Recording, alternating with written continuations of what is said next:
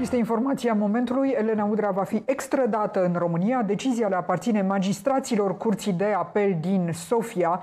Eh, ei au decis astăzi, așadar, ca Elena Udrea să fie extradată. Pe toată durata procesului, Elena Udrea a susținut eh, de când se află în arest acolo că nu își dorește să fie predată în România Uh, și că speră ca justiția din Bulgaria să o judece, uh, după cum spunea ea, corect. Iată, astăzi uh, Elena Udrea a aflat că va fi extradată în România. Decizia este una definitivă.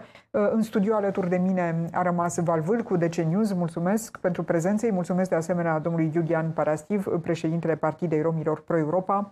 Uh, Val Vârcu, uh, voi începe cu uh, această știre pentru că după ce am aflat că Sorin Oprescu poate rămâne pentru moment la Atena, iată, Elena Udrea nu a avut parte de aceeași sentință din partea bulgarilor. Da, Bulgaria acum se arată inflexibili după ce au lăsat avionul ăla să treacă ca în varză, probabil contrabandiști, poate posibil spioni, eu știu, de ce evraiește în Bulgaria Uh, n-au uh, uh, avioane, n-au ridicat avioanele, bun, hai, înțeleg, n-au, nu are toată lumea 6 F-16 ca România, dar ar fi putut să mobilizeze poliția, nu știu, să aeroporturi părăsite în Bulgaria, cine știe, poate Udrea să ducea la acest aeroport să decoleze către Litonia sau cine mai știe. În fine, se arată feroci judecătorii bulgari, n-am ce să comentez, să vine motivarea, să întoarce Udrea în țară, are căi extraordinare de atac. Uh, grecii însă au apreciat că aici nu sunt condiții, ceea ce e o realitate. Adică uh, în uh, cazul unor oameni mai cu sănătatea mai șubredă, așa ca Oprescu, e condamnare la moarte, nu e condamnare la închisoare. Au murit vreo doi. Mm. Dintre uh, mari corupți de și un judecător care nu făcuse decât că l-a sfidat pe Băsescu. Uh, le reamintim telespectatorilor, la începutul lunii aprilie, Elena Udrea a fugit din România, înainte ca instanța supremă să confirme condamnarea de șase ani închisoare primită în dosarul Gada Bute. Pe 7 aprilie, Elena Udrea uh, era prinsă de poliția de frontieră din Bulgaria, în timp ce încerca să treacă în Grecia, uh, pe la punctul de trecere Culata. La scurt timp, Tribunalul Districtu- Districtual din Blagoevgrad a aprobat punerea în executare a mandatului european emis pe numele ei. Uh, i-a atacat acest verdict la Curtea de Apel din Sofia uh, și astăzi magistrații Curții de Apel din Sofia sunt cei care au decis uh, extradarea Elenei Udrea către România. Domnule Parastiv, odată merge, odată nu merge. Adică nu e o rețetă valabilă în toate cazurile aceea, că dacă pleci din România, nu te mai întorci. Dați numai o secundă.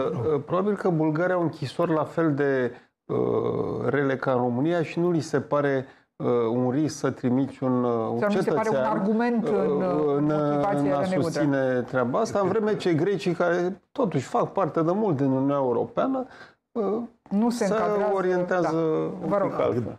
Atât Grecia cât și, și Bulgaria, curios, ambele state au mandate de extradare cu România. Perspectiva judecătorilor diferită, iată, pentru două persoane publice din România, Uh, pe care uh, statul român le caută pentru a fi pus în aplicare legea, rămâne de văzut felul în care au argumentat atât statul uh, uh, elen cât și cel bulgar, felul în care perspectiva judecătorilor în abordarea acestei uh, chestiuni. Dacă singurul argument este acela al condițiilor din uh, închisorile din România, cred că tipul ăsta de argument poate sta în picioare, în picioare în fața oricărui sistem juridic, nu doar din uh, da, Europa. Care ar fi la fel de mizerabile ca la noi, că totuși, nu... iertați-mă, nu vorbim de trimis rachete, că nici aici nu uh, sunt blocate demersurile private de a trimite, uh, de, nu vorbim, e vorba de construi niște blocuri uh, uh, pentru uh, deținuți. Și sigur, e contraintuitiv, domnule, represiune. Uite, țările, culmea, țările care au condiții mai bune în pușcării, cum e Norvegia, cum e Suedia, cum e Finlanda, au o criminalitate mai mică. Olanda, mă rog, pe acolo. Țările cum ar fi Statele Unite, cu care trebuie să începem să ne comparăm că suntem în OECD? Nu? Sunt pe ultimul loc la speranța, speranța de viață, de viață în OECD. Acum s-ar putea să-i mai uh, concureze cineva. Încă, da, vrem să fie. Deci acolo au, și au nu doar rata mortalității infantile, vedem tot timpul cazuri cu persoane care intră în școli și trag cu arme. E, nu, din uh, cazul ăsta sunt dramatice. Pe, dar, nu, dar, ăsta revenind, la... revenind la, la chestia asta, ce mare lucru să faci, totuși ne, uh, ne învârtim în jurul acestor închisori, să construiești câteva blocuri, să le pui în față un gard Uh, electric și da, uh, senzor. Deci Elena Udrea extradată, iar de executat o pedeapsă de șase ani de închisoare în dosarul Galabute, se află de mai bine de o lună în arest în Bulgaria uh, și astăzi a aflat că va fi extradată. Schimbăm registrul, ne întoarcem în țară, este un subiect care ne vizează pe toți, ne atinge pe toți. Inflația a ajuns la un nivel uh, de neanticipat pentru acest moment al anului, 14,5. Uh, analistul economic Adrian Negrescu este în legătură directă cu noi. Adrian Negrescu, bună ziua! Bună ziua, bun găsit! Într-o zi în care și Fondul Monetar Internațional s-a întreținut uh, ardent astăzi cu puterea de la București și le-a i-a încurajat pe oficialii noștri să nu cumva să se gândească să intervină în prețul combustibilului, că până la urmă statul uh, strânge banii dacă benzina și motorina sunt scumpe. Uh, adică Fondul Monetar Internațional au făcut astăzi figură de lup rău uh, la București. Uh, prima mea întrebare, uh, până la sfârșitul anului, care este previziunea dumneavoastră pentru inflație? Că dacă acum suntem la 14,5, ce se va întâmpla în luna decembrie acestui an. Păi probabil așa cum și Banca Națională estimează, vârful inflației va fi undeva în luna viitoare, luna viitoare, oricum în, în această vară. Nici, nici previziunile băncii naționale nu mai sunt de actualitate. Ei previzionau că inflația va atinge un maxim de 14,2% da, în luna iunie. Iată că și previziunile băncii naționale au fost date peste cap. Deci inflația va continua să crească, prețurile vor continua să crească, vor rămâne până în decembrie, undeva la nivel de 10-11% și vestea și mai rea este că această inflație se va prelungi până în 2023, până undeva până în iarna lui 2023, cu un vârf puternic de inflație, care, sincer, creează destul de probleme de pe acum, undeva în luna aprilie, sfârșit de luna aprilie, când vor fi eliminate toate facilitățile la energie și gaze și atunci când ne vom lovi de niște prețuri duble, dacă nu triple, la energie și gaze, nu numai pentru persoanele fizice, pentru companii și acolo va fi marea, marea problemă care va uh, accentua și mai mult situația asta economică gravă în care se află România. Dar uh, Fondul Monetar Internațional, care își permite să dea, uh, după cum știm, să facă recomandări, de ce i-a sugerat guvernului să nu se atingă de prețul combustibilului? Pentru că e una dintre principalele surse de venit la bugetul de stat, alături de banii care le vin din energie și gaze. Și mentalitatea femeiului e una extrem de mm, scriptică, așa, de contabil, fără a jigni meseria de contabil. Ei judecă pe cifre, văd cum sunt încasările, de unde vin banii și unde se duc banii respectiv. Ce ne-au spus e un lucru foarte cinic și foarte interesant, e că ar trebui ca cursul de schimb, de exemplu, să, să mai fie luat, lăsat din brațe de către Banca Națională, adică cursul euro să fluctueze, pentru că noi avem acum în momentul de față un curs al euro ireal raportat la situația economică. Ne uităm la monedele din regiune, vedem toate se depreciază în fața euro, numai leu rămâne puternic din prisma eforturilor făcute de Banca Națională. Deci FMI-ul gândește contabil și gândește că uh, face rost de bani din orice surse, chiar și dintr-un impozit progresiv fără să se gândească dacă într-adevăr în România se poate aplica un astfel de impozit, dacă situația din economie permite acest lucru, dacă avem instituțiile și modalitățile financiare de fiscal-financiare de a, de a aplica un astfel de, de, de sistem. E încă o dovadă că femeii judecă doar după cifră și prea puțin după realitățile din economiile pe care le guvernează, ca să zic așa, sau le, măcar le monitorizează din punct de vedere al evoluției economice. Dar în realitate, Valvârcu, uh, alimentele sunt mai scumpe și cu 50%. Autoritățile ne spun că prețurile s-au stabilizat. Păi dacă s-au stabilizat la nivelul ăsta la care sunt mai scumpe cu 50%, nu știm despre ce stabilizare uh, putem Eu, să vorbim. Uh, am întrebat, bine, domnule Grescu are mult mai multă expertiză, eu am întrebat de ce nu de ce facem eforturi de a păstra leu doar așa să păstrăm leu? Bun, sunt uh, motivate politic pentru că avem 500 de mii de oameni care au luat credite în franci elvețieni, uh, uh, sunt plățile astea către telefoane operatorii de telefoane și altele în euro sau nu, nu știu, că am văzut că economiile occidentale, Italia mergea pe inflație mare când, în momentul când devenise uh, exportator de la mașini, la mașini unelte și așa mai departe. În fine, noi de ce întărim leu?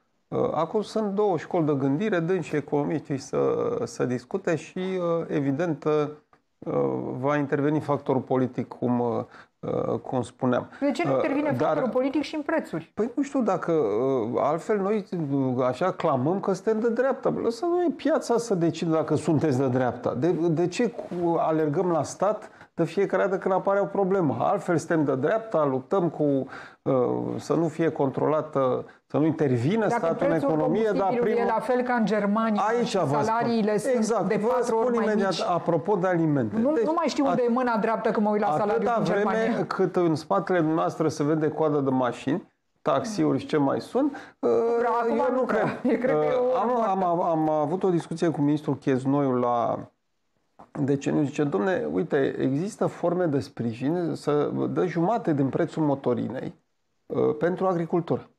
Și asta da, aici sunt super de acord. Deci chiar mai mult ar trebui sprijinit, da, se dau asociațiilor celor care sunt persoană juridică. Tu care îți crești, uh, ești uh, în feudalism, mă rog, ești scos din capitalism, îți cultivi uh, hectarul ca să-ți hrănești porcul.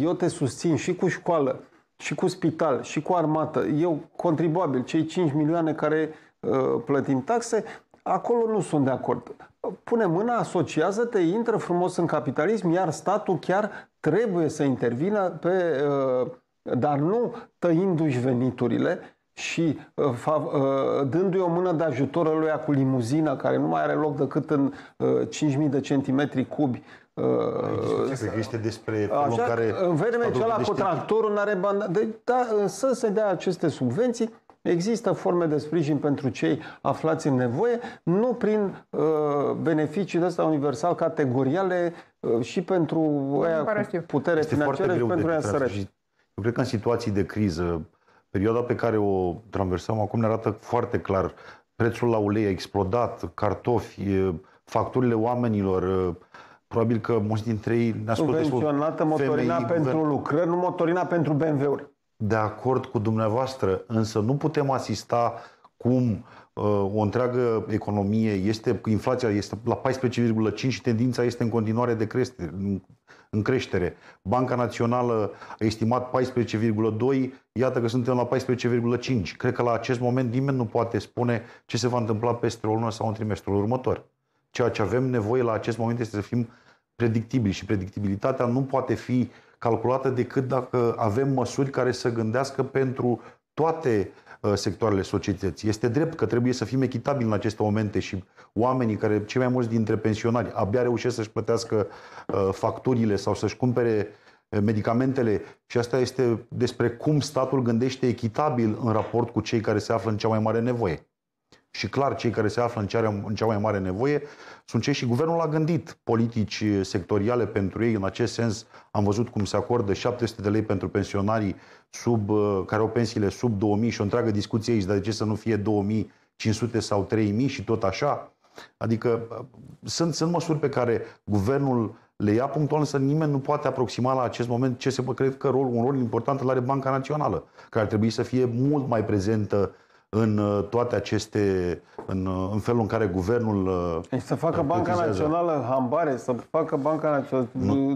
dirigeze tractoare. Nu, nu poate dirige tractoare, dar poate oferi păi, consultanță. Asta e oferă economia. Mai, uh... Hai să punem în mișcare PNR-ul, că vin 4 miliarde dacă facem ceva să... pentru asta. Acele miliarde vor scădea presiunea pe leu și... Adrian Negrescu, vă rog. Val Vâlco, păi hai să vedem exact ce face guvernul în momentul de față. Tot discută despre a strânge și mai mult șurubul fiscal la cei care sunt buni platici, micro-întreprinderi, companii, oamenii care plătesc în continuare, în loc să se preocupe într-adevăr de a aduna mai mulți bani din evaziunea fiscală și chiar și femeiul ne-a spus acest lucru, că avem o evaziune fiscală uriașă în România și statul e incapabil să ia măsuri la pe această ce zonă. Și ce spuneați dumneavoastră calculăm legat de fondurile europene? Păi noi n-am cheltuit un euro din banii din PNR până acum, sunt 3,7 7 miliarde de euro în Banca Națională, de acum s-au semnat niște contracte pentru un miliard de euro. Și, atenție, contracte pentru reabilitarea unor clădiri din mediul rural, sedii de primării și chestii de genul ăsta. Deci noi avem 80 de miliarde la dispoziție și suntem incapabili să-i cheltuim ca să prevenim, într-adevăr, să nu ajungem în situația de a strânge și mai tare șurubul fiscal, așa cum ne zice femeiul. Despre asta cred că este vorba de viziune, de modul în care reușești să te descurci în vremuri dintre asta de criză și să pui și mai mult presiune pe fiscală pe, pe companii și pe, pe angajați, pe cei care sunt în profesii liberale, nu cred că e o soluție, pentru că probabil mulți dintre ei vor trece în economia subterană, vor găsi tot fel de artificii să nu plătească. Nu asta e soluția, soluția e să folosești banii europeni și să te uiți puțin și la propria ogradă, adică ce se întâmplă în sistemul al bugetar, unde se fac angajări pe bandă rulardă, unde bugetul de salarii da, al, al, al, în zona bugetară s-a dublat față de 2017. Acolo cred că trebuie umblat și cred că trebuie umblat inclusiv la restructurarea aparatului public. Avem zeci de mii de instituții care nu justifică, multe dintre ele nu justifică existența. Hai să fim în criză, hai să fim solidari, să plătim toți factura crizei și să, să luăm măsuri acolo unde e posibil și nu acolo doar unde putem. Pentru că, din păcate, asta facem în ultimii ani.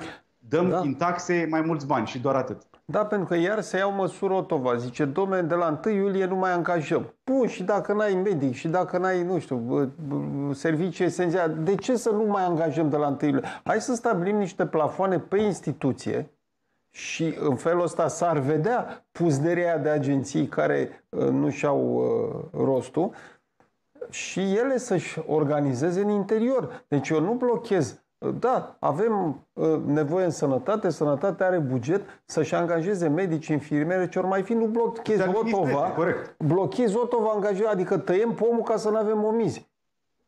Da. Uh... da cam așa este mentalitatea. Uh, vă mulțumesc mult, mulțumesc mult Adrian Negrescu pentru această intervenție.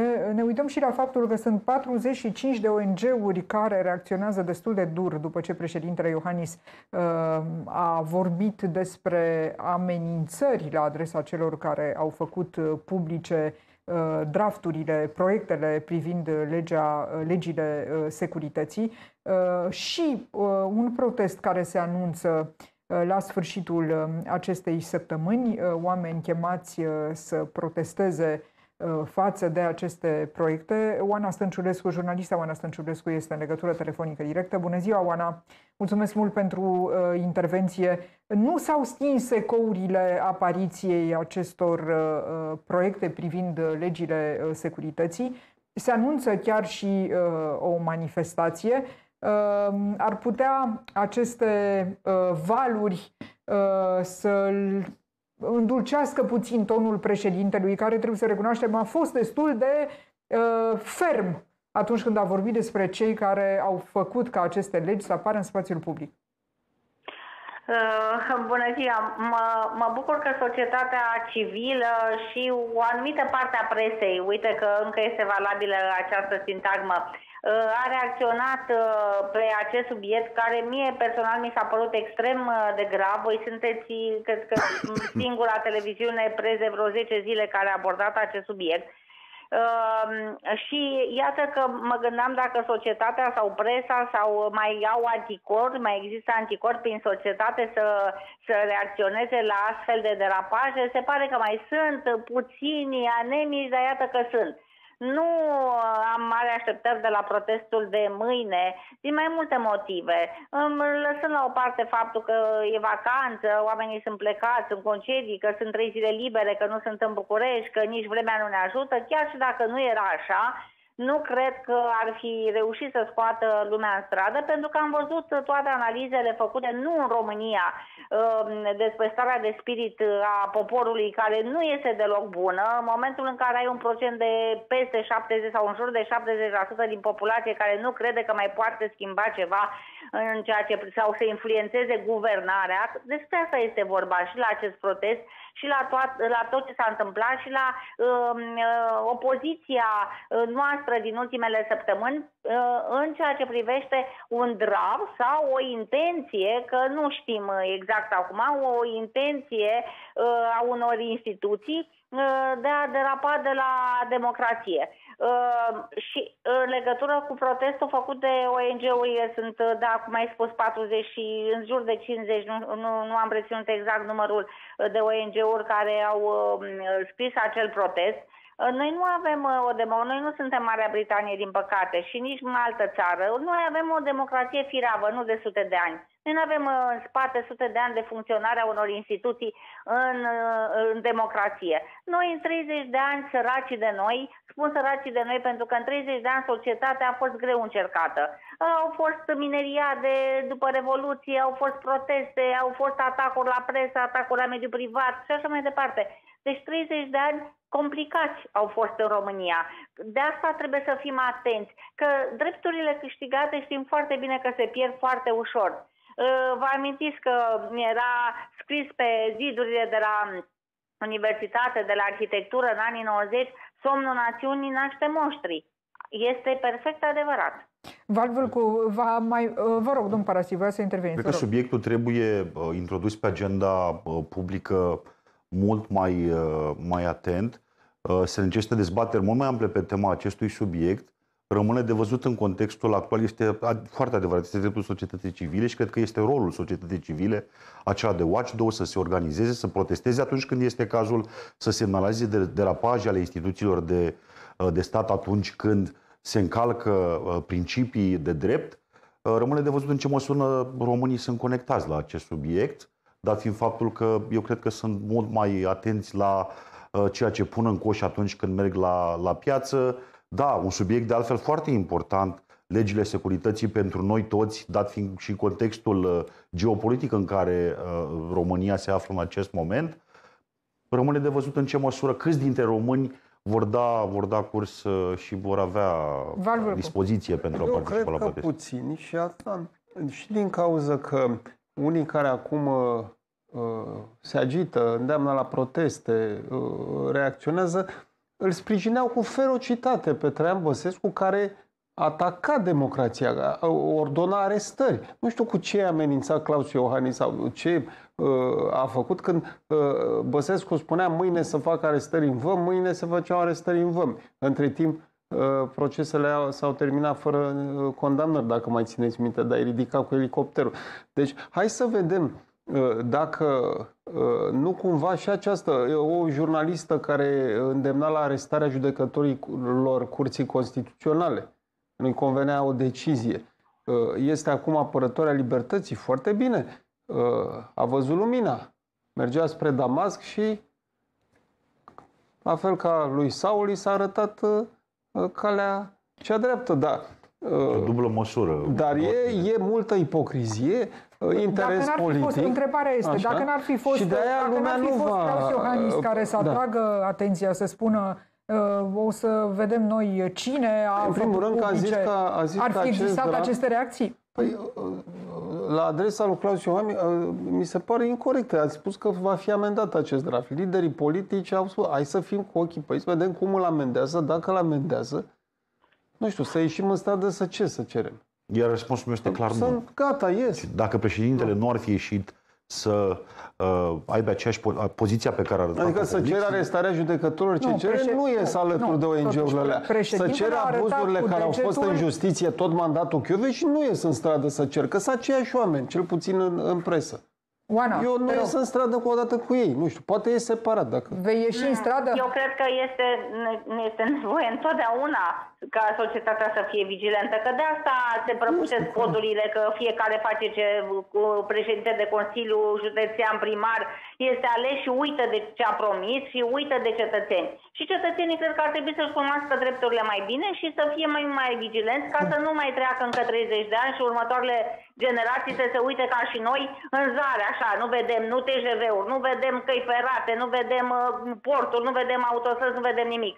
Deci asta scopă Iertați-mă că vă întreb. nu când e nevoie, ci întotdeauna cred că societatea trebuie să fie vigilentă. În al doilea rând, dacă noi nu am fi spus că o colegă de-a noastră, nu știu ce zice Valvâlcu că a făcut și a o identifică acum cu o, apă, o critică, adică o colegă care critică aceste proiecte. Nu vă legătura, dar în fine, dacă noi nu am fi zis, câți am fost acum, o mână de oameni, că aceste proiecte sunt dăunătoare, dăunătoare acestei societăți, păi ne-am fi trezit cu ele în Parlament într-o seară în care se convocau la 11 noaptea comisiile, se dădea aviz și la revedere dezbatere, o dezbatere așa în câteva ore.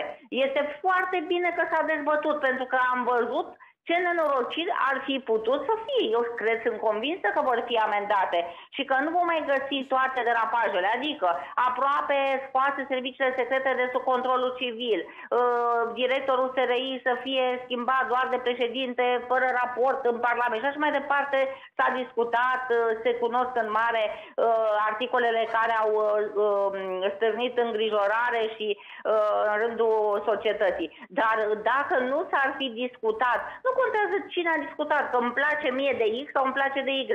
Este, este corect ceea ce a spus, este adevărat ceea ce a spus într-o speță. Păi dacă este adevărat că îmi plac ochii lui sau nu-mi plac ochii lui... Păi Oana, eu nu mai știu, eu om din public. Societate, nu mai știu nu... dacă e adevărat sau nu, că ei spuneau invers când erau da, cu Băsescu. Dar eu de, aceiași oameni spuneau păi să nu știe ipocrizie, când așa, când așa. Uite, pe care dintre ei să-i ascult? Pe ei de acum... Pe ei de acum 8 ani sau pe ei de astăzi? Pe care ei să-i Păi mai Val Vâlcu, dar eu da. acum stau să-ți analizez ție declarațiile de acum 5 ani, 10 ani. Eu mă uit pe un subiect. Discutăm un subiect, nu discutăm întreaga cariera unui jurnalist. Păi da, că că nu e treaba păi mea nu, acum dar nu discut nicio carieră. Eu spun da. că, uite, vreau să ascult, fac ca el, dacă fac ca el da sau ca el de acum 8 ani. Că același om spunea... Păi noi vorbim acum despre ceva, nu, vorbim, nu știu la ce adică la momentul ăsta s-a schimbat cu... despre un, o temă nu. care se dezbate acum în societate. Evident că la, despre asta vorbim. Val. Aici Hai, vorbim același lucru, dar tu spuneai să ieșim în stradă. Tu ai predat pe la Universitatea Studenților. Hai că nu țin chestiile astea, nu te supăra pe mine. Nu, nu deturna atenția uh, telespectatorului. Noi acum discutăm de 10 legi care conțin articole nocive. Ă, nu discut nici acum 5 ani, nici acum 7 ani. Mâine, păi mâine o să mi se spună și mie ce ai căutat la 10 august în, ă, să protestezi, că n-a fost bine și că ești paria, nu mai e voie să spui nimic acum. Despre ce discutăm acum? Doamne ferește, dar cine le-a băgat pe Bănț, că nu e alături de ei stradă. Nu, nu. Ești un ziarist cu experiență, te rog să analizezi și să ne spui opinia ta, să și foarte curioasă să aflu, dacă ție ți se par în regulă, așa cum au apărut în presă sau nu. Nu, mi se par în regulă regulă, dar nu mi se pare în regulă nici comportamentul, uh, adică nu comportamentul, nici această ipocrizie care arată în spate au uh, jocuri politice.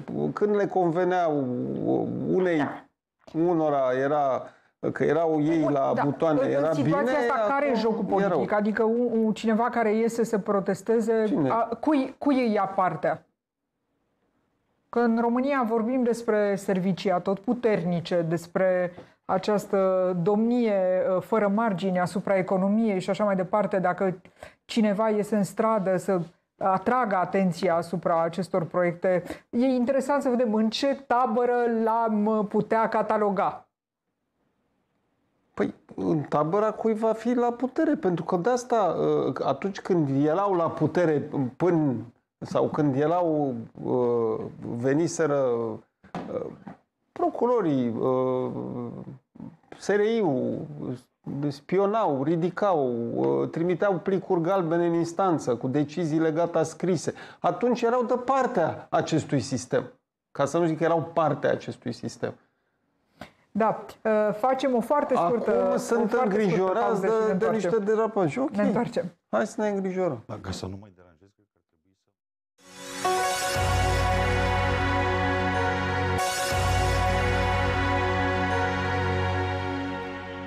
A venit vacanța cu trenul din Franța și dacă vreți să plecați în tabără, uh, în Brașov, de exemplu, dacă vreți să vă trimiteți copilul într-o tabără de stat în Brașov, așa cum poate ați mers dumneavoastră, poate părinții dumneavoastră, e bine, aflăm că nu mai există nicio tabără școlară de stat în Brașov.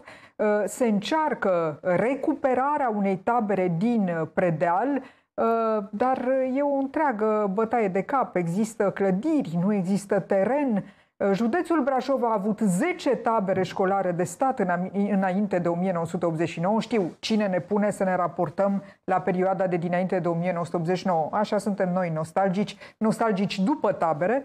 Uh, toate aceste tabere s-au degradat uh, în timp. Val Vâlcu ar putea să fie aduse la viață peste câțiva ani, dar cine știe ce antreprenori vor gândi alte afaceri. Acum, de la să ne punem în pielea părinților care, uh, confruntați cu prețurile acestea mari și cu copilul uh, care intră în vacanță astăzi uh, și pe care poate că îl lasă la țară, dar vrea să-l ducă să socializeze o săptămână, două, cu bani puțini, pe banii statului, că e contribuabil, n-are unde să-l ducă.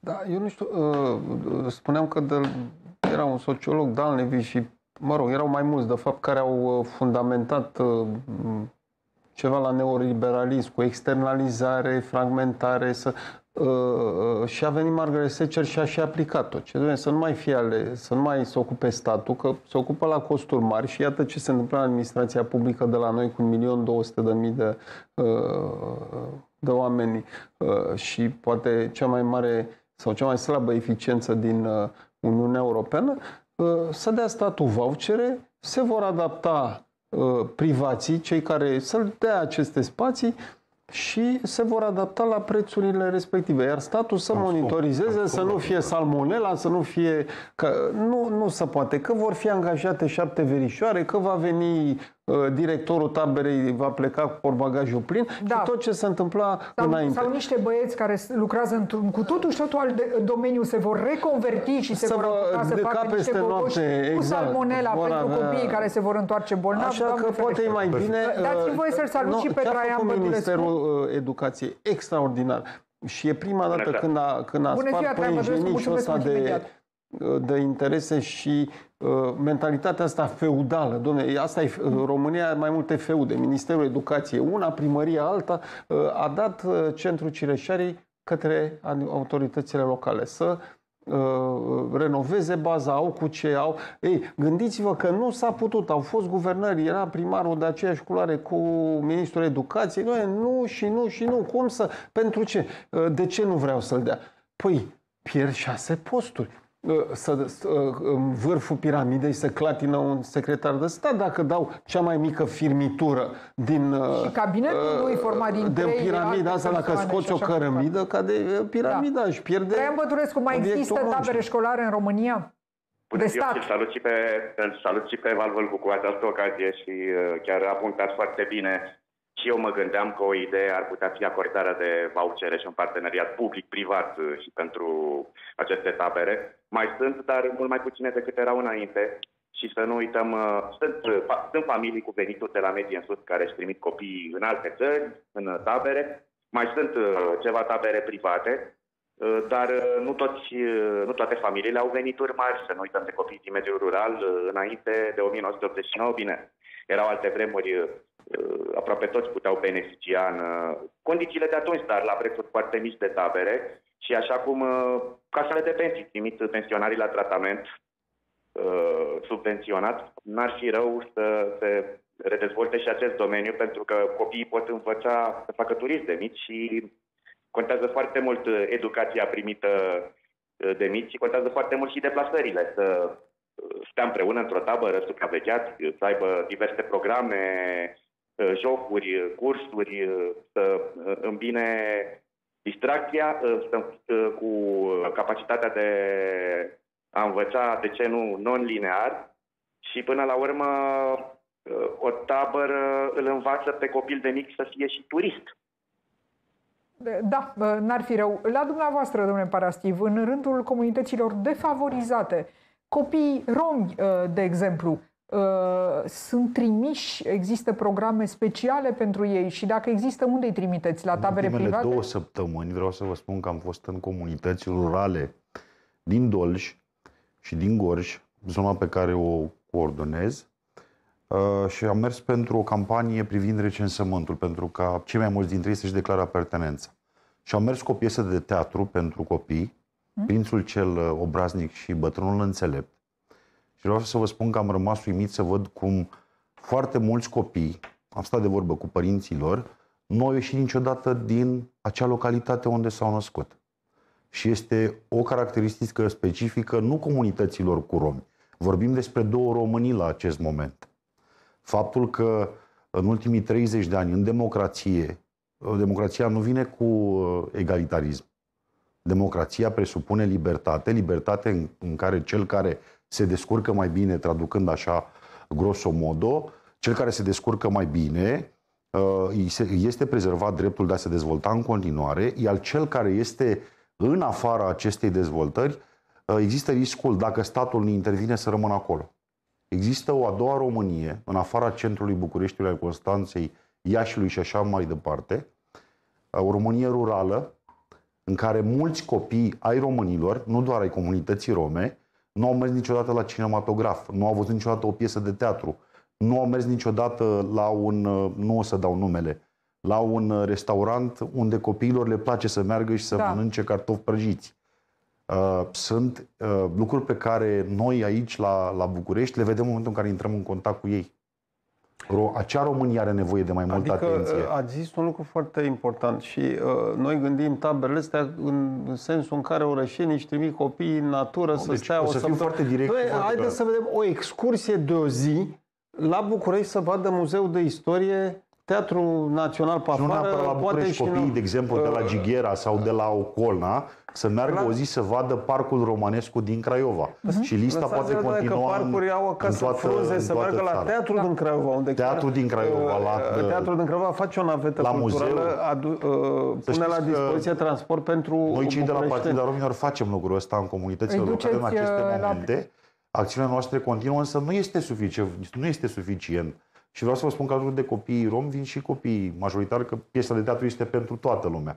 Ne dorim foarte mult ca, și aici trebuie să acordăm noi o foarte mare atenție, în momentul în care proprietarii și-au cerut terenurile, ei au trebuit să le primească. Legea și statul a hotărât că proprietarii trebuie să primească ceea ce este a lor de drept. Fără discuție, domnul Stelu... Statul nu a mai intervenit cu investiții și iată că da. nu avem locuri în care să investim și să avem unde să trimitem Uh, copiii în tabere. Excursiile copiilor sunt de pe o stradă pe alta, în praf, în uh, noroi, uh, cu o infrastructură școlară destul de precară. Acea România are nevoie de atenție și de investiție solidă dacă ne dorim să construim cu adevărat pentru... E greu pentru și pentru copiii din București să meargă la teatru, că se Eu făceau merg, acele fetiță... curse, dumneavoastră, dar se făceau... Și să știți că teatrele sunt pline, Știți cât costă autobuzul ca să ia copiii de la...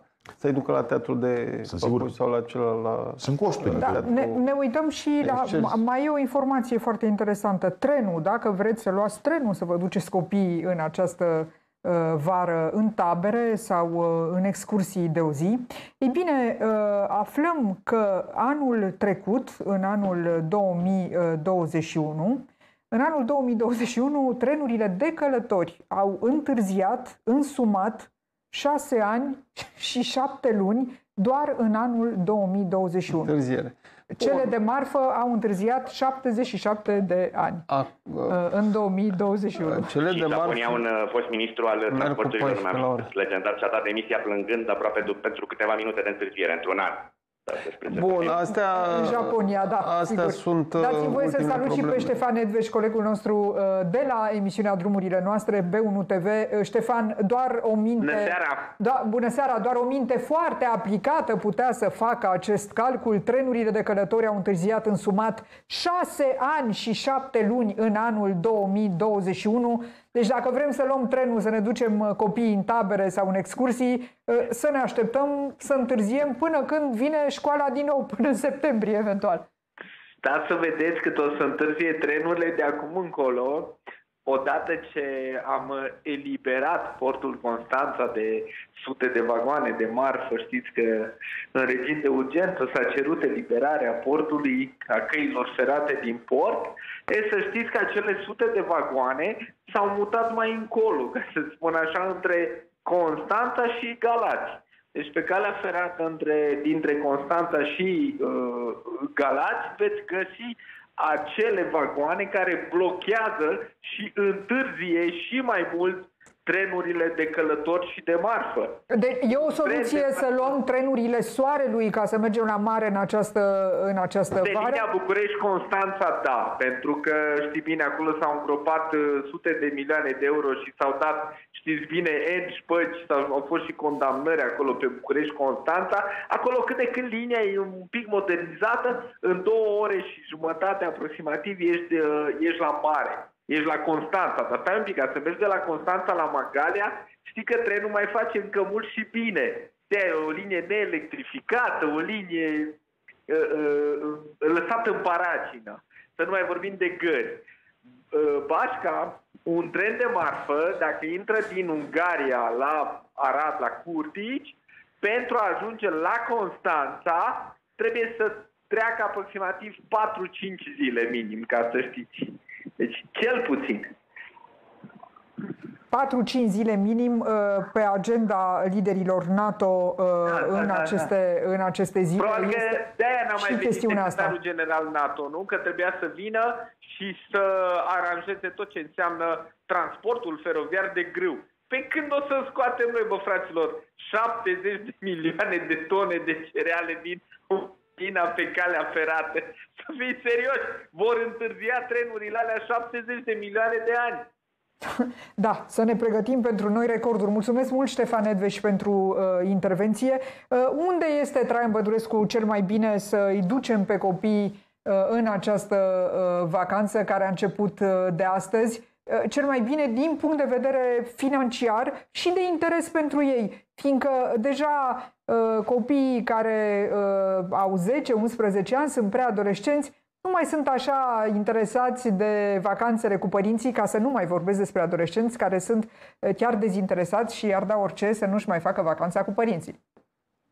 Da, așa este. Oricum, taberele ar putea avea un rol extrem de mare și pe partea de dezvoltare personală, taberele pot schimba mult viața în bine, cum și mie și multora mi-a schimbat viețile în anii 80 și poate anii 90. Uh, în primul și în primul rând avem foarte multe locuri care se pot preda și structuri de cazare la tabere private. Sunt complexe de vile, pensiuni uh, în Transilvania, de exemplu, Maramureș, Bucovina uh, și în județul Neamț, în Oltenia de Submunte. Da, zone... invitații mei întreabă cât ar costa o tabără pentru o familie medie. Da. Vorbim aici despre o familie care ține copilul la o școală de stat, nu despre școli private și ceea ce se organizează acolo. Din păcate, tarifele sunt cum sunt în turism, nu sunt foarte mari, dar multe familii nu-și permit uh, și n-au cum să fie sub 150 de lei pe noapte, să spunem, camera cu mic dejun, dacă ne referim la o pensiune, la o vilă sau la un hotel, chiar de pe litoralul românesc mai ieftin, din sudul litoralului. Pentru că există și astfel de oferte în extra sezon, în mai, iunie, respectiv uh, septembrie. Deci uh, cam greu să vorbim uh, de sub 800-1000 de lei, să spunem, pentru un sejur. Pentru că o tabără e bine să aibă durată totuși de măcar 4-5 nopți, dacă nu chiar 6-7 nopți. Da. Vorbim de tabere, vorbim și de un program uh, zilnic, uh, nu doar de relaxare, pot fi workshop-uri, cursuri, concursuri, uh, vizite, mici excursii în uh, zonă și avem multe locații turistice unde pe o rază de uh, 20-30 de kilometri, nu mai mult au ce vizita copiii. Mulțumesc foarte Dar mult așa pentru cum, Așa cum spunea și Val, uh, Vâlcu, ar fi o idee dacă ar putea fi dezvoltat și susținut și de către stat, așa cum a fost și este cu voucherele de vacanță, un parteneriat public-privat uh, și pentru taberele de copii. Da, trebuie început, da, trebuie început cu trenul, că dacă uh, vrei să subvenționezi CFR-ul cum făcea Dragnea și dădea călătorii nelimitate pentru studenți, Uh, ai putea să dai o dată pe an unui copil din uh, uh, filiaj, nu știu, să ajungă și el să vadă un uh, teatru sau un muzeu pe, dinăuntru sau să-și vadă capitala țării, nu știu, am văzut în, uh, veneau unii la, uh, la New York, e drept, nu în capitală, uh, uh, doi copii cu mama, erau așa de fericiți, am ajuns, am ajuns să vadă și ei. Uh, Pe vremea aia mai era World Trade Center și uh, Empire State Building, uh, Statuia Libertății. Deci uh, și pentru ei era un eveniment să ajungă dintr-o zonă rurală din uh, SUA în, uh, într-o metropolă. E, Haide că nu costă atât de mult o excursie, pleacă frumos cu trenul dacă îi se dă o călătorie două pe, pe an, așa cum se dădeau nelimitat studenților, nelimitat, fără număr, dacă vrea în fiecare zi să, să ducă până la Iași, să ducea în fiecare Păi zi până la Ministerul Iași. Familiei, Ministerul Familiei ar Familie, putea da. să facă o Așa astfel și de- după care să-i mai plătească, nu știu, abonamentul în București sau unde, să mai meargă cu autobuzul să facă niște excursii până la tabere uh, de acestea de în săptămână altfel sau în alte Domnul Parastiv, vă rog. în alt fel de program. V-am spus și mai devreme, pentru mine este foarte important felul în care uh, reușim să găsim măsuri și nu pe termen mediu sau lung, ci acum. Școala va începe pe 5 septembrie, peste câteva luni. Este vară, este cald, copiii fie că vor ajunge la mare sau se vor uh, uh, stropi cu apă în fața bătăturii, cu toții vor începe școala la 5 septembrie. Uh, este important ca Pen- pen- școala... Pentru unii e foarte scurt, pentru alții care nu prea au ce să facă, ce să le ofere copiilor, e foarte mult. E... Timpul să știți că trece la fel și în mediul rural și Da. la București. Uh, Cu felul în care consumăm timpul și cum îl consumăm este Și diferit. trebuie să ne mai ajute și uh, condițiile meteo, o legătură telefonică directă cu doamna Meda Andrei, uh, meteorologul de serviciu de la ANM. Doamnă, foarte pe scurt, uh, cât de puternică va fi ploaia, că despre soare nici nu putem vorbi, înțelegem că vom avea un weekend cu ploaie, uh, dar măcar așa niște ferestre cât să ieșim puțin să ne bucurăm de aer curat vor fi? Uh, Bună ziua și bine v-am găsit. Uh, Vor fi mai multe ferestre cu soare, însă noi am atenționat exact perioadele în care pot să apară fenomene severe, adică averse care să aibă caracter torențial, descărcări electrice, intensificări de vânt, vijelii, de asemenea nu este exclus să fie și grindină. Iar, așa cum au fost pe parcursul uh, zilei de astăzi, uh, uh, mai mult în partea de vest de nord-vest a țării. În orele următoare și uh, în zilele care urmează până duminică seara, astfel de fenomene vor apărea și în uh, restul teritoriului și chiar așteptăm uh, cu precădere în partea de sud și de sud-est cantități de apă care să depășească 20-30 de litri pe metru pătrat și pe arii restrânse, mai ales la deal la munte și în extremitatea de sud a țării, chiar 40-60 de litri pe metru pătrat. Prin urmare, cam până când se termină uh, această mini-vacanță, această sărbătoare, tot o să avem astfel de manifestări, dar cum ați început și noastră foarte bine, vom avea și ferestre în care să fie mai liniște și să putem să ne mișcăm, să ne bucurăm de aceste zile. Vă mulțumesc foarte mult pentru intervenție, vă mulțumesc și dumneavoastră că ați fost alături de noi. Vă doresc uh, zile liniștite în această mini- mini-vacanță. Ne revedem uh, luni la News Pass. Rămâne, rămâneți cu bine!